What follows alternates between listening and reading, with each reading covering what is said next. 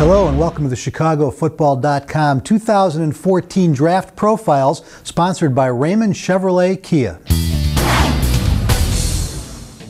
Washington State strong safety Deone Bucannon will be one of the first five safeties off the board in the 2014 NFL College Draft. When you look at his measurables, you'll wonder why he's not number one. 6'1", 211, under 4'5 in the 40-yard dash played in 49 games at Washington State, had 43 starts, pretty much everything you want in a prototypical safety.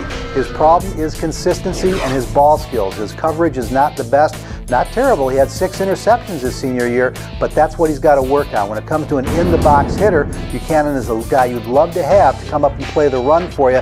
He probably falls a notch behind Ha Clinton Dix and Calvin Pryor as a prospect, but is an almost certain second round, maybe high third round pick. Deone Bucannon, one of the top safety prospects out of Washington State. That's our scouting report on Bucannon for Chicago Football and ChicagoFootball.com.